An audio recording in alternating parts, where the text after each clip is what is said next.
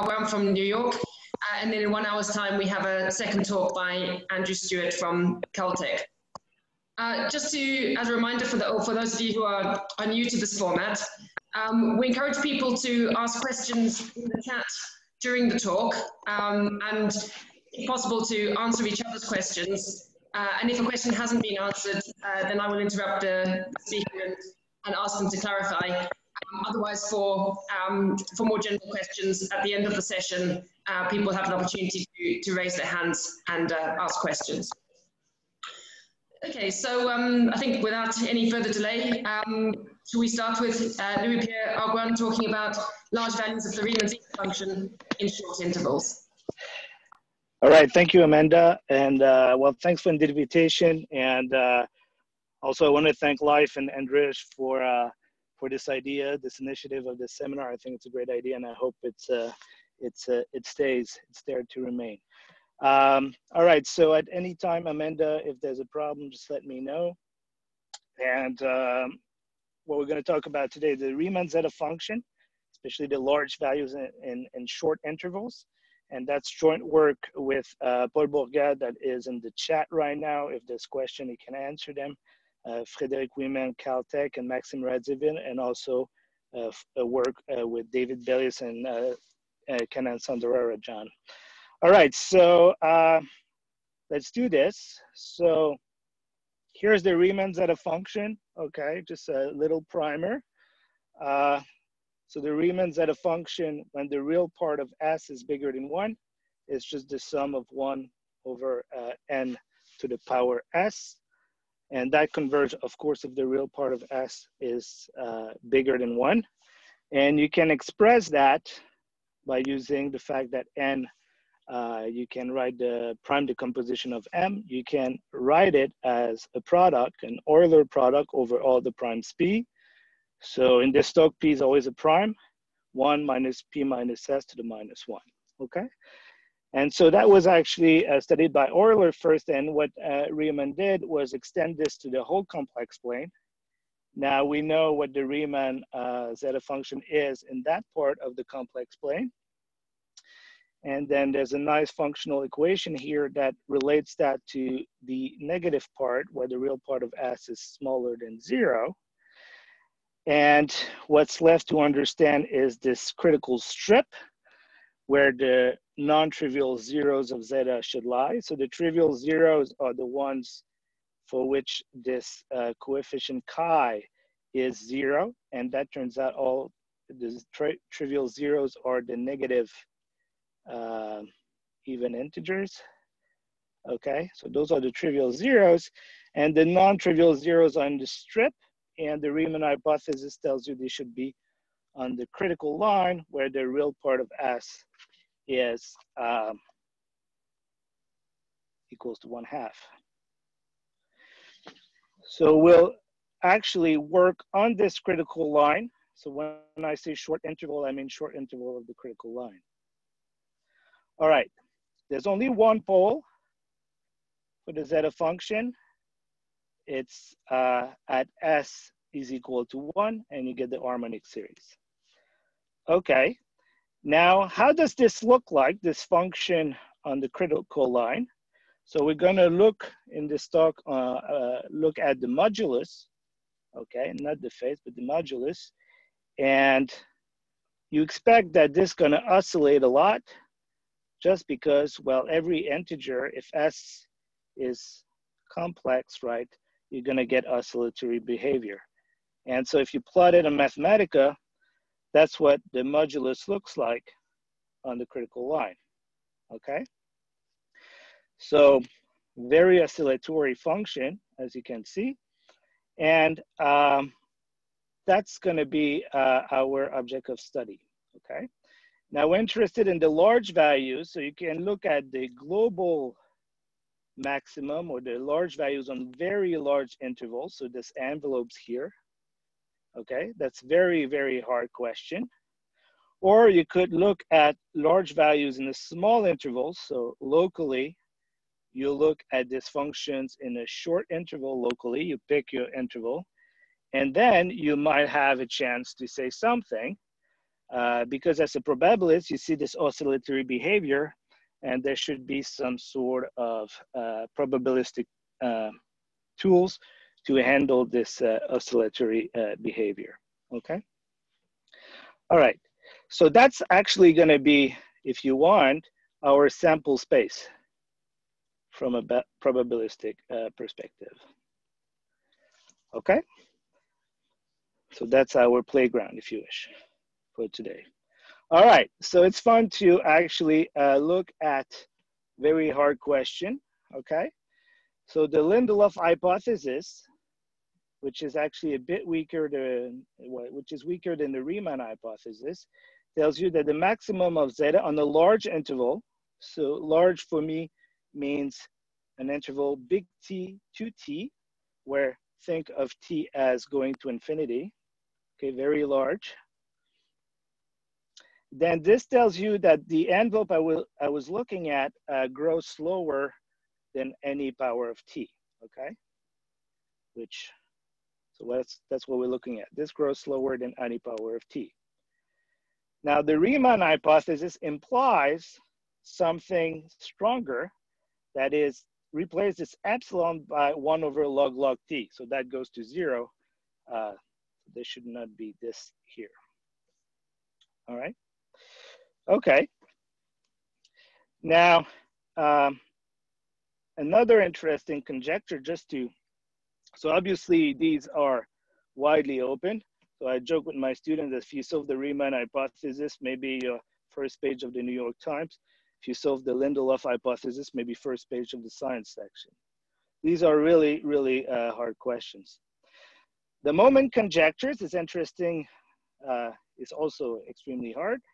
Uh, and it's looking at those large values on large intervals. So you see here that I average over my large interval T2T. So you'll see that sometimes I will write expectation for that integral average over, um, so that's a probability measure, obviously. So one over T, T2T. And this tells you that if I look at zeta, so I look at the beta moment of zeta on that large interval, I average, okay? So this obviously access the large values of, uh, of the zeta function. This grows like a constant, which is predicted by random matrix theory. It's a nice uh, prediction by Keating and Snaith. Grows like log t to the b beta square over four, okay? And you might ask, how does that relate to the previous results? Well, essentially the Lindelof hypothesis is uh, you can express it in terms of the moments, and it tells you that the moments for any beta grows slower than t to the epsilon. So you see the gap, right? So it's expected that the moments grows like log t to some power. And the Lindelof hypothesis just tells you that uniformly in beta, right, it grows smaller, uh, it's slower than the power, power of uh, t. Okay, so it's log, so you, you, you're off by a log t. Okay, so it's much more precise. Okay, now let's look at it this from a probabilistic perspective. So we have moments, so we might expect we can do some probability. Now, if I look at the moment conjecture here, right, I can see it as a moment generating function of what? Okay, so I'm gonna write this more like exponential of beta log of the modulus. Okay. Okay. So then this is the moment generating function of the random variable log zeta, okay, for a point that is picked uniformly in the interval t2t, okay? So that point I'm gonna call tau, okay? So tau is a uniform uh, between t to t. So what I have here is really just the expectation of beta log zeta one half. So let me actually, since I have these fancy tools now, I can correct as I go. Okay. So that's actually the only okay, source of randomness in everything I'm gonna say. And so what we're doing, see, right, is picking a tau uniformly on this, on the large interval, okay? And asking how the value fluctuate as I pick that tau. And the moment conjecture tells you the uh, moment generating function of that uh, random variable. And it tells you that this moment generating function is quadratic in beta. And therefore, it should behave like a Gaussian. Okay, so if you do a little calculation, it's actually a Gaussian with variance one half log log t and mean zero. Okay, so we already learned something that a typical point of log zeta in that sample space has Gaussian fluctuation with variance one half log log t, and therefore the typical values is square root of one half log log t, okay? So essentially square root of log log t. So that you can put, uh, this you can uh, put on firm grounds, and that's the Selberg central limit theorem that tells you that log of, of zeta divided by square root of that variance converges to normal zero, one. This value, one half log log t will come back in the talk. That's very important. And sometimes we'll call it the Selberg variance, okay? Now this is about typical values. The moment generating function is much stronger because it's about, you know, you, you can actually access large deviations, okay? And um, so it's stronger. And so what is known for the moment conjecture, I'm, I'm gonna use some results. Um, so without the Riemann hypothesis, uh, you actually have a form of the of this of the moments for beta equals zero, two, and four, with the right constant. So zero is obvious. Two goes back to Hardy Littlewood, and, and four to Ingham. So that's kind of classical result. And uh, more recently, uh, we have sharp upper bound. By sharp, I mean the exponent b squared over four for beta smaller or equal to four. That's the result of Heap, uh, Radziwill, and Soundararajan. And also sharp lower bound, that means the right exponent for beta small, bigger and equal to two. Now the Riemann hypothesis helps you, okay? And you get sharp upper bound and lower bound for all beta. And for the upper bound, that's a result of sound and also Harper. Okay, so, all right, so the Riemann hypothesis is useful to get a large deviation. All right. So those are very hard questions, as I was saying. So how can you reduce the problem to answer something? Well, uh, we're going to look at short intervals. So we're still going to have that tau. So I pick a point uniformly on the, on the large interval t2t. And then what we're going to do is look around that point, how does the function behave, okay? And then you hope that maybe you can increase the interval, so change the size of the interval to get uh, you know, more information about large values. Okay, so that's the idea, and that's, uh, so if you zoom around a tau, so let's say that's my tau somewhere in the middle. So I look locally, so that's actually a picture of log zeta, so the zeros are sent to minus infinity. Um, this is how it looks like. So you see that the oscillatory behavior is still there, uh, but uh, you start picking up some smoothness. And that smoothness, uh, as uh, I'll mention, so what's the scale uh, of the width uh, of these peaks? It's essentially one over log of t, which is the size between the zeros. We'll get back to that. Okay, so there's some, we pick up some smoothness and what we're interested in is the large values, so this guy. All right? Good. Okay, so this idea of looking at short intervals in a, for typical intervals, by typical I mean I pick that tau, um, goes back to uh, Fyodorov, Hiary Keating, uh, 2012. And here's the conjecture. So if you pick that uh, point uniformly on a large interval, then as t becomes large, the maximum goes like log t, that's the uh, leading order, divided by double log t to the power 3 quarter. And then after that, the fluctuations after that are actually of order 1. Okay, so this MT is actually a random variable that depends on, on tau. Tau is the only source of randomness. And what I mean by fluctuations are of order one, in fact, these converges supposedly in distribution to a random variable, m, and that random variable has a right tail, which goes like y e to the minus 2y.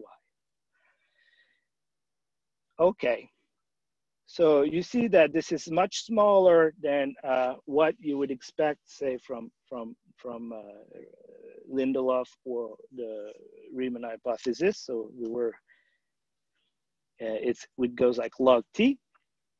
Um, and it's surprising for uh, many reasons, but uh, first of all, it's very precise.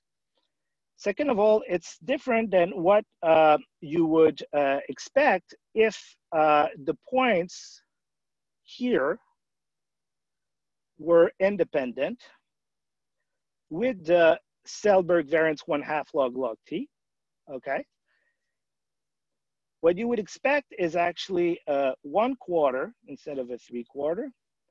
And instead of having this tail behavior for the fluctuation, you should get a tail behavior which is exponential, um, that what you have for a Gumbel distribution. Okay, so the difference between the two actually comes from the fact that uh, you pick up correlations, okay? So there are correlations locally between two points of the zeta function. And these correlations actually log, uh, log correlated, so they decay logarithmically with the distance. And that was one of the reason why uh, they, uh, they, come up, they came up with this conjecture looking at the log correlations. All right, okay. And that's what I want to explain. Uh, I'm gonna talk about the theorems and talk about uh, why do we see uh, a log correlated process locally in zeta. And in fact, this log correlated process is very close to branching random walk. And I'm sure there's some uh, specialists in the audience. Uh, and for branching random walk, that's exactly what you would expect. So this three instead of a one, okay? And this tail behavior. Okay, so that's what I want to explain in the uh, second half. So first, uh, I will uh, talk about what uh, we can prove and what, what can be proved. All right, so, so all the statements here are about the probability that the maximum is bigger than some V, okay? So we're looking at convergence and probability of that maximum. Okay, so what can be proved? So the leading order, which is this log t, so that was proved. Uh, uh, so that means, okay, so that would prove by, by Najnudel and uh, our group of people. So that's Belius, Bourgade, Radziwill, and Sound. Okay, so we, Nash Najnudel used the Riemann hypothesis that one of is um, in, in actually the lower bound, we don't need to use the Riemann hypothesis, but uh, Najnudel also deals with the imaginary part of the log zeta, which is due the log of the modulus of the real part. Okay, so now the level of precision is to leading order. That means that we allow a log t plus of minus epsilon, okay? And that means that this probability is O1 okay? If you look at log t plus epsilon, and it's one minus little o1 for, so if you have plus epsilon, this probability is o1, little o of one, and minus epsilon is one minus little o of one, meaning that the maximum in a typical interval essentially is uh, with high prob probability between log t to the power one plus epsilon and log t one minus epsilon. Okay, so that's the leading order. Now, uh, Harper was able to go uh, a bit further to the second order doing the upper bound. Okay, that means that if you plug in that V, so you see that I have the second order here. Now, since we're dealing with a lot of logs, uh, the iterated log, to save some space, I write log two, okay? So log two is log log for the rest of the talk. So log three is log log log, okay? And etc. So it was able essentially to get this and then what plays the role of that plus minus epsilon, the, this, this, the room you allow, okay, uh, for the error is essentially a power of log log, log log log t, all right? That's for the upper bound. Now, uh, we have a recent result. It's not, uh, it should be online in the, hopefully by the end of June. So I'm sorry, Max, I think I screwed up your name here. Um, all right, so what we can do, go, do is go to order one for the upper bound, okay? So we can actually get this maximum for a typical interval to order one. Okay, so that V now is what you expect and you get e to the y now, okay? Nothing depends on V here. I mean, it could actually, you, we can take y of order one or we can actually take a y that depends on, on t, okay? So in probability, that would be exactly what you want if you want to prove tightness of the maximum, okay? So we prove the upper bound, that is the probability that the maximum is bigger than this, e to the y, and we even get the right tail. It's smaller than y e to the minus 2y. Okay. Um, all right. Now, this is, okay, so this probability P again, okay, is under tau uniform T2T, okay?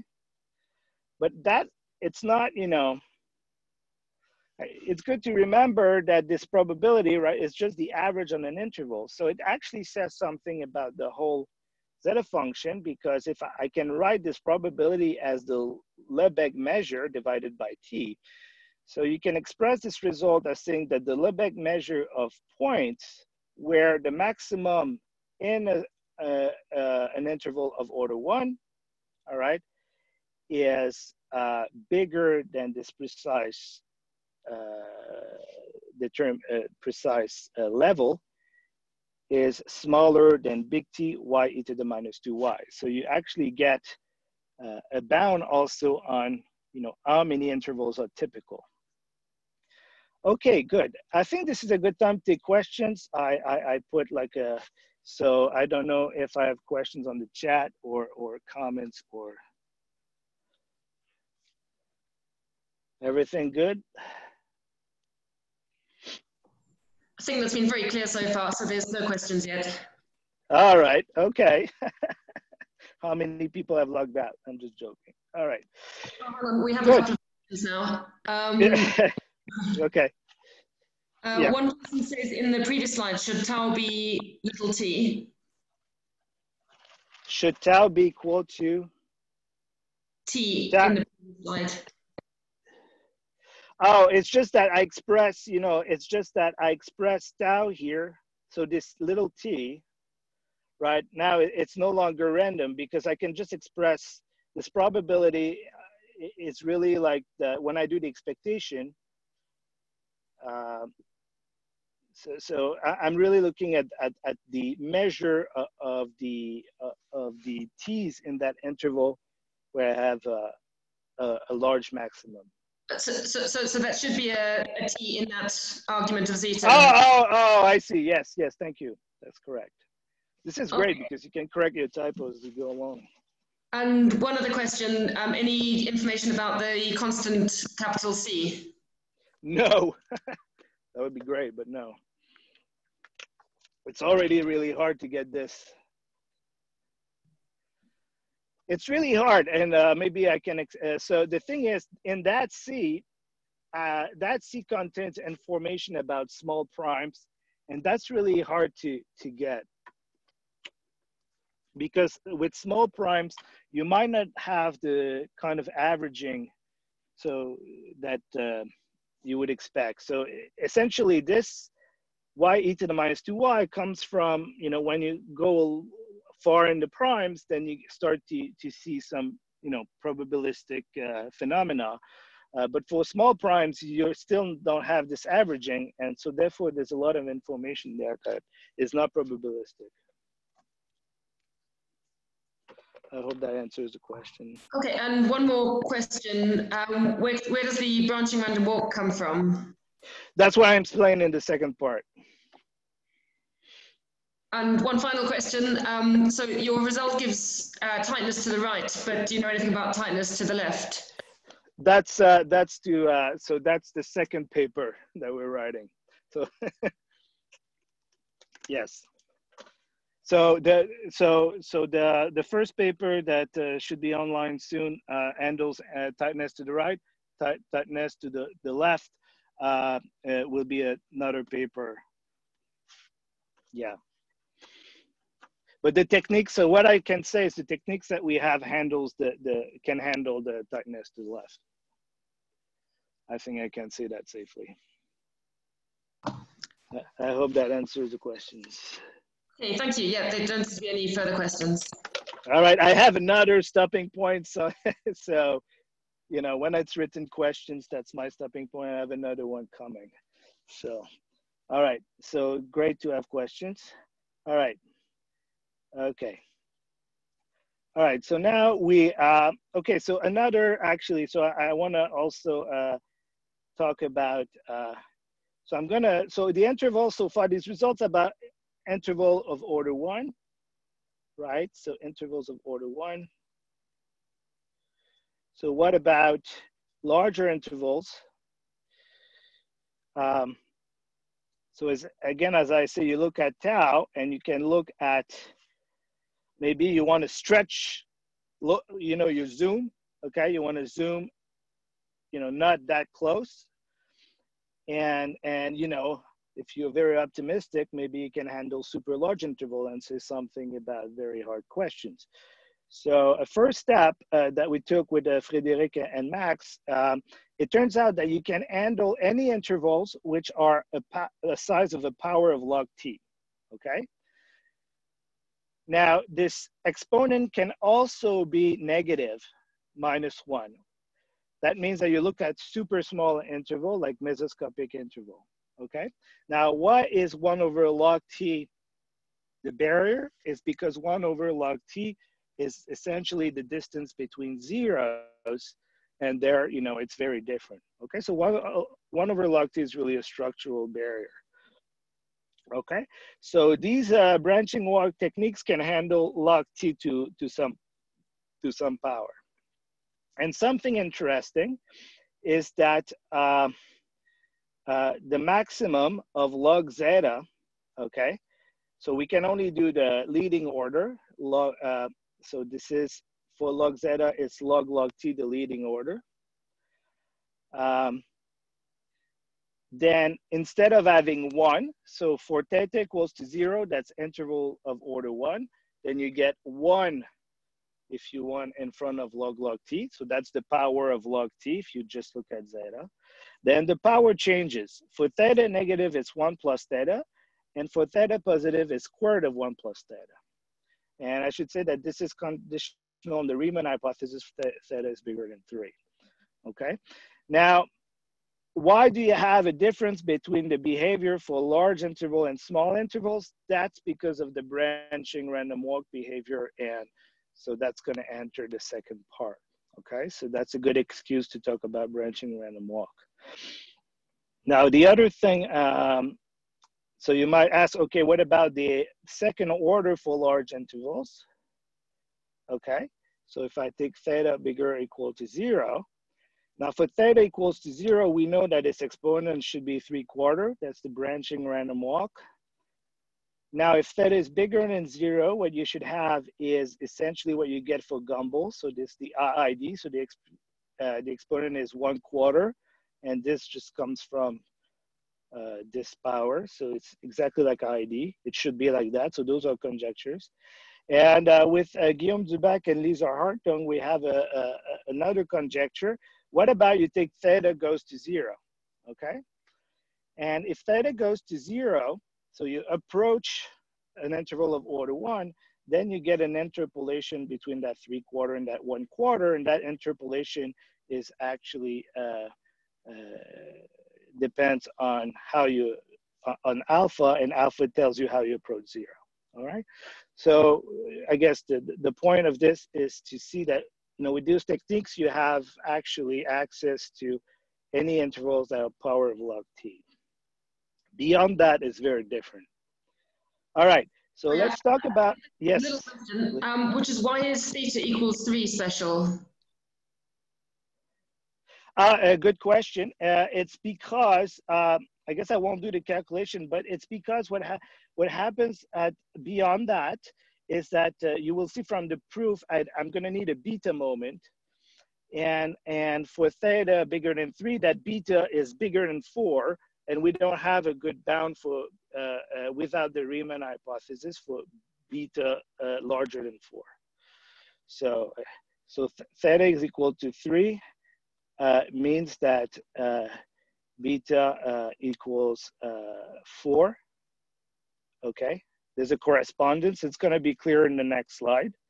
And if you go beyond theta 3, then you need beta moments of beyond 4 and we only have an upper uh, a bounds for these moments um, uh, under the Riemann hypothesis.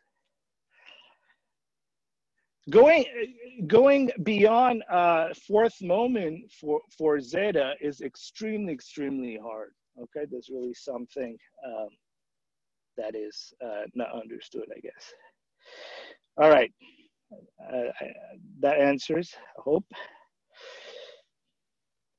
All right, so how do we prove these things? So this is only sketches and give an idea, okay?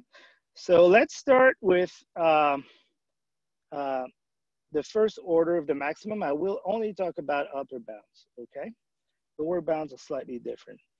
Okay, uh, okay, so what you wanna do, uh, upper bounds is like first moment, all right? First moment method. Now you have to do it a bit in a, in a clever way uh, for some cases.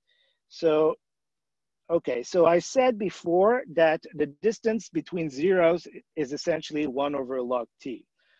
Uh, why is that? Is because uh, it's not too hard to show that the number of zeros is just complex analysis techniques, T to T. Okay, in the large intervals, I expect T zeros times log T which means that on an interval of order one, divided by t, I get log t zeros. So log t zeros in interval of order one.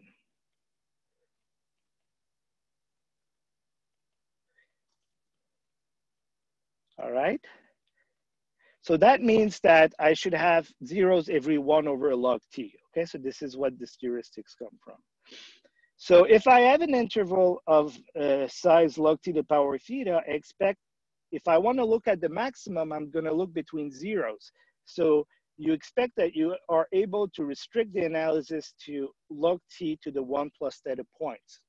Okay, so instead of looking the maximum on the continuum, you can restrict to log t to the one plus theta points. That's the heuristics. In reality, you have to work a little bit more, but that's, that's the idea.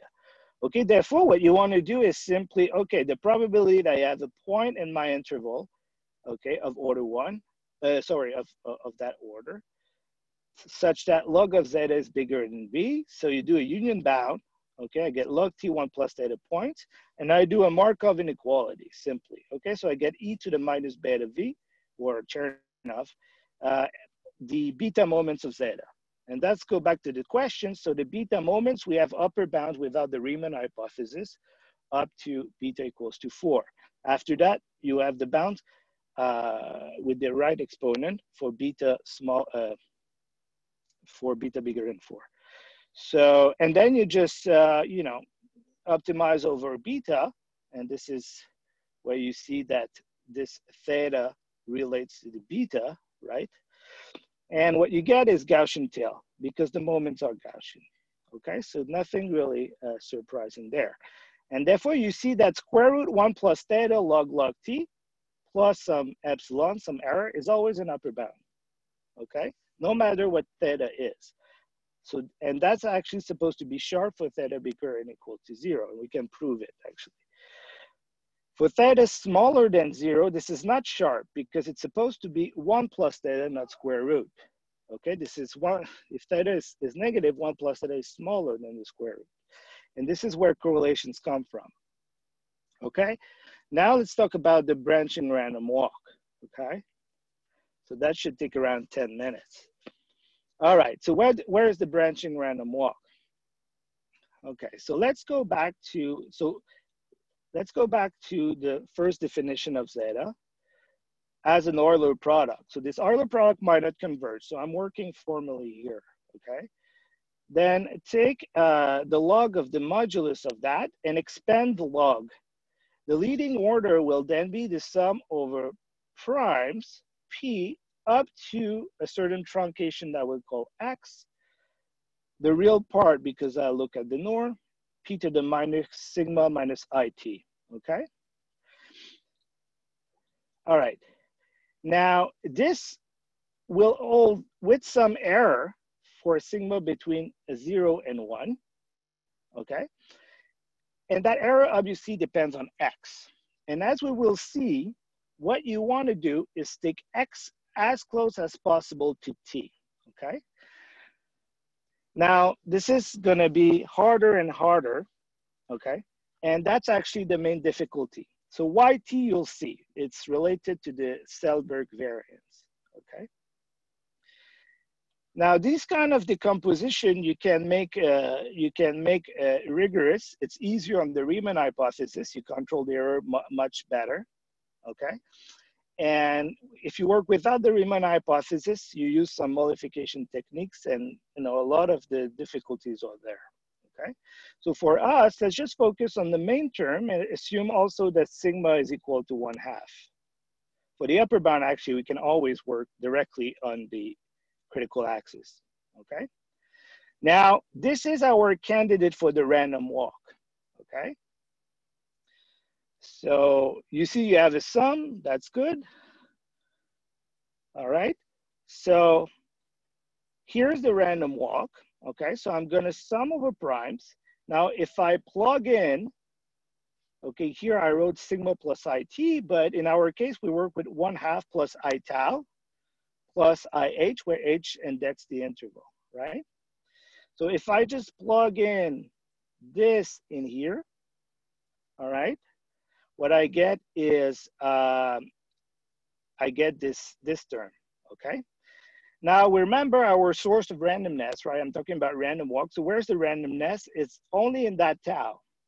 And that tau, it's p to the i tau, maybe a minus, and it's just a random phase, okay? So it's exponential minus i tau log p, okay? So these are unif uh, th these on the unit circles, right? It's like a random phase. So you're summing random phases here, okay? All right, so you might think that your random walk, the increment of your random walk is at every p, okay? But that's wrong because the variance will depend on p, okay? So what you wanna take for the increment of your random walk is actually sum over p over a certain range of primes there, those for which log p is between e to the L minus one to e to the L. And the reason for this is that if you actually take the second moment of that, and you can, right? Remember the tau, you know exactly what it is. It's a uniform on T2T. So you can take the expectation. What you get is one half, because of that real part, sum over one over P over that range, okay? And now you invoke the prime number theorem. That is, you know what is the density of the primes, essentially. It's uh, 1 over uh, log p, okay? So 1 over log x at x, uh, around x. So you can actually sum primes, okay? It's essentially like the integral of uh, uh, 1 over, uh, 1 over x, 1 over log x. And so what you pick up is the log log, okay? So when you do log log, so I should say that, so uh, you put you get the log log over prime. So there's already a log in the P. And therefore a second log gives you between L and L minus one. So you pick up a variance which is essentially one half. Okay, so that's important. So why do we sum over that range is to get a variance that is constant one half, okay? That's the increment of the walks, okay? Now, why are they, um, so now, why do I want to go up to t? Well, if I look at my walk, that I will write sk, so my walk, I sum over L up to K. And so if I want this to have a variance one half log log T, I need to take K up to log log T, okay? So this is what uh, uh, I was saying. So if X is equal to T, so I sum all the primes up to T, I take the log log of that, I get one half log log T, which is the variance that Selberg tells me is the right thing okay? Now, you don't have to go up to one half log log t, okay? For the first order, it turns out that you can go up to exponential of power of log t, which is much smaller than t, okay? So I'll, uh, in my last slide, I tell you why it's problematic uh, to go to up to t, okay? And that's the main problem that you have to overcome to go to order one, okay? So getting close to T is actually hard, and I can tell you why. Is that if you want to take higher moments of that, the error term here blows up. Okay. All right. So this is the the candidate for the random walk. The increments are sum over a slice of prime. Okay, of this, and this term comes from formally expanding the Euler product. All right. So that's one random walk for one point h. Now, what about several points, okay? So what happens if I do the correlation now, the covariance between two increments, okay? And you just do the calculation, what you're gonna have here is cosine of the distance between h and h prime log p, okay? And therefore, if h is equal to h prime, I get the sum of 1 over p like I had before, okay? But now you see that this will depend on the distance. Now, if what's inside is really close to zero, what happens here, the cosine is essentially one, and so the, x, the increments are essentially correlated. And that's what I do in my little picture here, that's a branching random walk picture. Take two points, h and h prime, all right? Up to a certain prime, and that prime is exponential of the distance between the two to the minus one. These increment, these walks are essentially the same, okay? So the values of zeta, okay, the contribution are essentially the same for the two h and h prime. And then if the distance is bigger, if the cosine is bigger than one, this starts to oscillate. And therefore the covariance, if you do the calculation is really small, close to zero, okay? And so you essentially have a decoupling after that prime. Okay? All right. So there's a special prime, again, for 2H, H prime, where the walks starts to decouple. Okay? Now that's in terms of the prime. Now, if you look at the increments, the increments are this k here is essentially the log log scale of that, okay, the log log of the prime. So if you take the log log of that prime, you get logarithm of h minus h prime minus 1. And that's why we say that this process, these walks are log correlated, which essentially means it's an approximate branching random walk, all right? So this is where the, the, the, the branching comes from, okay? Um, this uh, behavior of, of the sum over primes for two different h's. Okay, all right. So, okay, and so you have variance one half for each increment of the walk, and the branching rate, if you think about it, should be E. Okay, so it's an average branching rate. Why E? Well, I have log log T increments in my walk, essentially all right? And I have log t points at the end, right? Because I told you that to capture the, the behavior, I just need to look between zeros and I have log t zeros. So I have log t points to look at. So if I take exponential of that, right? So it grows exponentially. So I should get log t points. All right, I have another stopping point, question, uh, questions, and I will explain Uh, I have three more slides. I should be okay on time.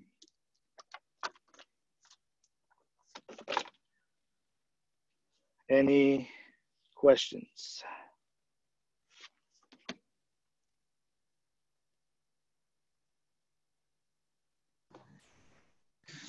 It looks like we haven't got any questions right now, so maybe All right. hold them till the Okay. end. uh, All right. But good to know that uh, we're still online. Okay, good. Uh, all right. So with that picture in mind, we can at least understand some of the results. Okay. So remember that if theta was negative, I had a different exponent for the behavior of the maximum. I had log t to the power one plus theta and not the square root, okay?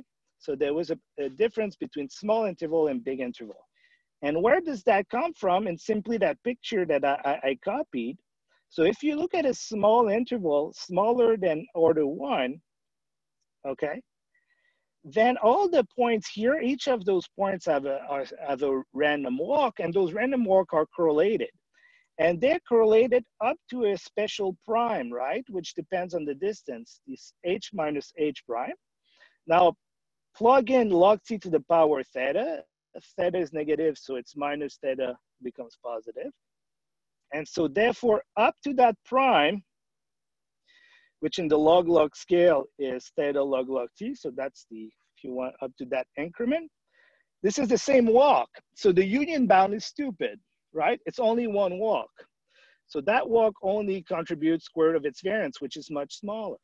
So what you have to do is do the union bound of the rest of the walks, okay, where you have independence.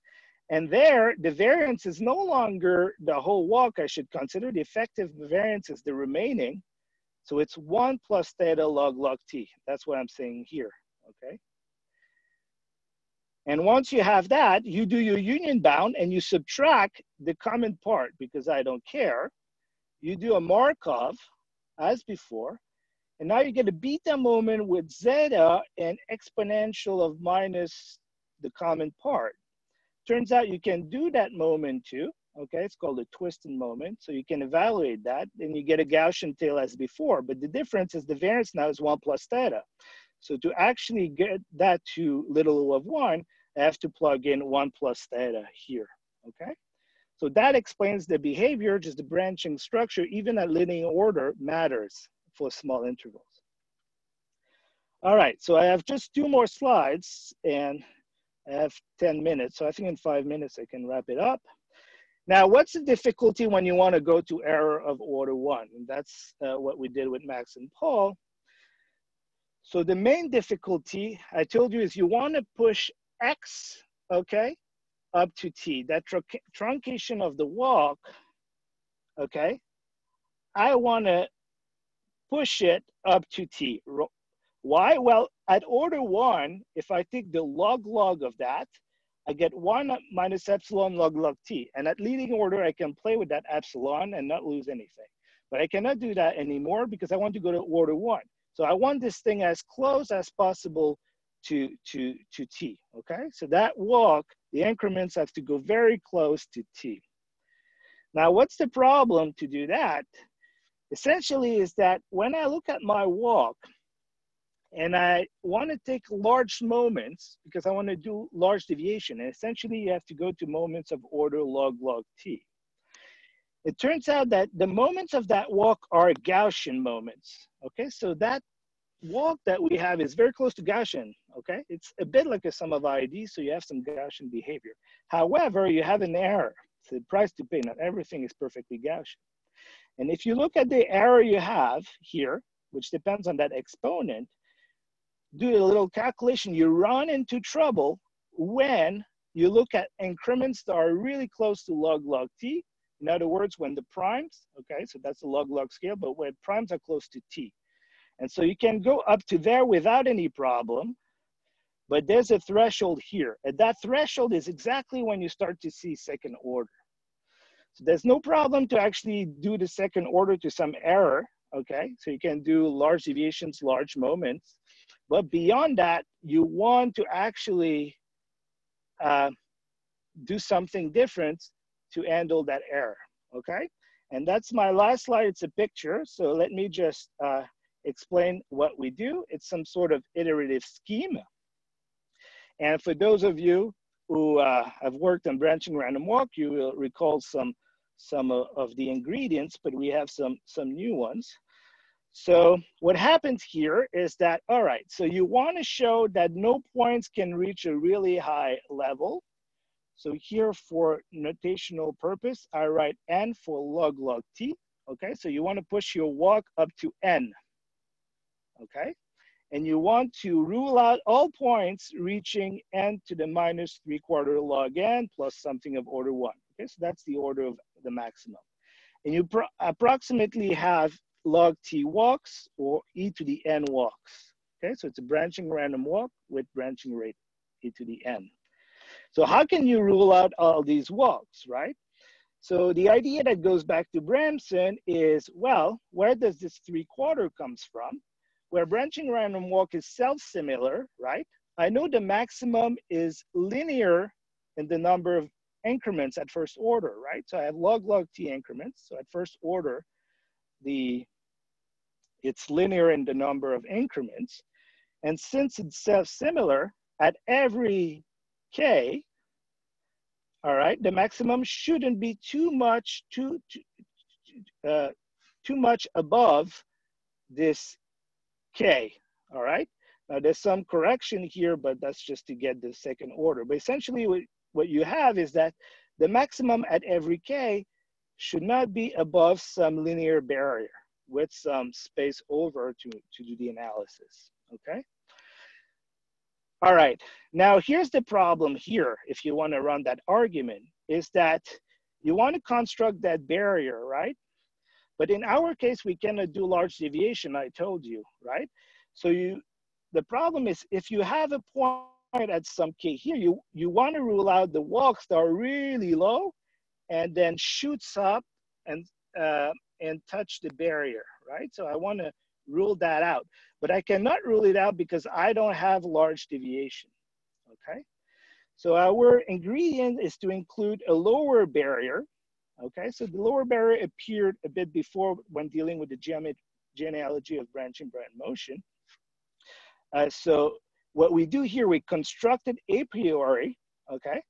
So that lower barrier allows you to rule out the points that are too low. And therefore, the only thing you have to deal with are walks at every K that are between an upper and a lower barrier. And it's much easier in that window to control the large deviations because you don't have big jumps. So you don't have points coming from below to touch the barrier. They're all within that, that uh, barrier, okay?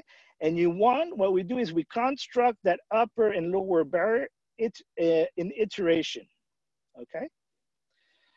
And so both of them in iteration. And doing that, we iterating, so you start, you know, uh, so you want to get closer, closer to log log t, so you construct that barrier as you go. All right, and uh, it starts being like much harder when we get close to t, so we start at n minus log n, so really close to, to n. But then after that, you have to construct it up to n minus log log n, then n minus log log log n, and etc. So it's a finite induction. You just have to do that a finite time, and you get uh, to this. So it's constructing this barrier in iteration. Uh, all right, I think that's what I wanted to say. I still have five minutes, so thank you very much. I'm happy there was no glitch. So thank you. Okay, thank you very much for that. Um, okay, so if people want to ask questions, the two ways to do it, either if you write something in the chat, uh, then I'll read it out, uh, or you should be able to raise your hand, uh, in which case we can unmute you um, and you can ask your question uh, verbally. So if anyone has any questions, uh, please, please make yourself known.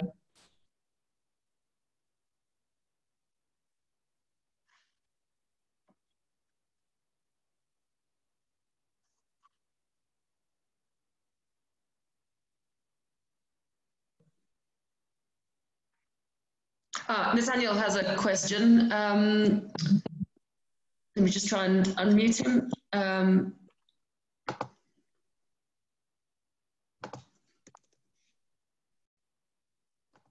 uh, Nathaniel, you're unmuted now, I believe. Yeah, hi. I was wondering if you had a, a, maybe a heuristic explanation for why the, the tail is much higher in this case than you would expect if you do a comparison with branching random walk. Uh, which tail? The right tail? Yeah, the y e to the minus 2y as a, is that, this is what you expect from this is what you oh, This is exactly what you'd expect from This is exactly what you expect. Yeah. That would be nice to have something different actually. Sorry, I missed that. yeah, yeah, no. It's it's exactly uh, exactly what you expect. Maybe I should uh, take this as an excuse to uh, so so okay, so we can handle y of order 1 and also y can depends on t, okay? And you know, y can depends on t like can be really really big but the problem is if you take y really big, this is no longer sharp. Okay? This is supposed to be sharp for y of order one and up to hmm. log log t. Okay? But obviously would be great because you see what I have here, you know, what you want is have access to the super large values that you see in the Lindelof hypothesis and all that. But this is not sharp enough to get anything interesting. I see. Thanks. So, sorry, I missed that this is. No, no. Thanks for the question. Okay, and I think you have another question, which is maybe along similar lines. Um, can you get asymptotics for the right tail? Uh, these are the asymptotics. I'm not sure I understand the question. This is this is asymptotic.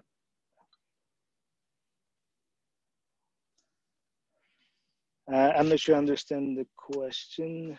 Uh, let me, I've unmuted. Um, yeah. I've unmuted Maximilian so he can uh, maybe say for himself. Um, uh, maybe uh, matching, oh. matching upper and lower bound. So yeah, so the matching lower bound. So the okay, the, to, uh, so as I was saying, the matching lower bound, we're working on it, but this this uh, so the, our paper that will be uh, posted uh, in the next, uh, hopefully before the end of June, the next few weeks, that that does the upper bound. The lower bound is actually a bit simpler, uh, and uh, we would have matching asymptotics. Yes. Okay. Thank you.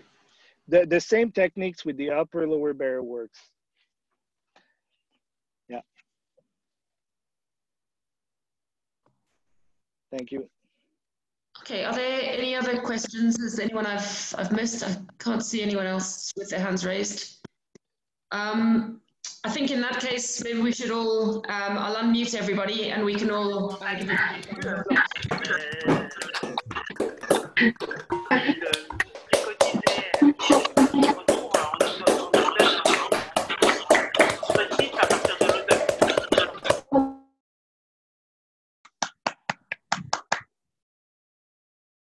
Okay, so we'll start again in a couple of minutes time uh, with Andrew Stuart.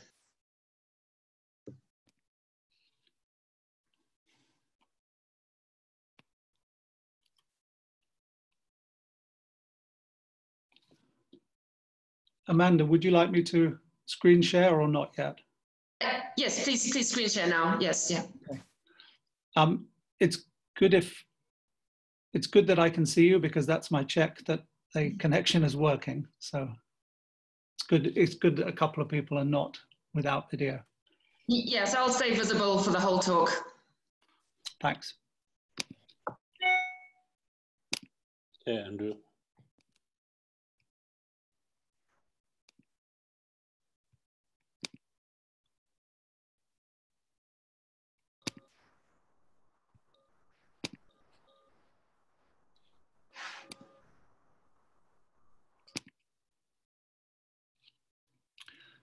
Is that now visible? Yes, that's great. Yeah. So numbers are still um, changing. So I'll wait until the numbers um, of participants stabilize and then uh, and then introduce you. So I'll give it another minute, I think, just till. Um, that's good. And uh, how's the sound? Perfect. Thank you. I can hear you well, Andrew, as well. And hello. Thank you. Hi. Thanks for speaking as well. Pleasure. Keep moving so that I know that I haven't lost the connection. It is an Ethernet connection, so it should be okay, but you never know. Hi, Andrew. Hi, Wolfgang.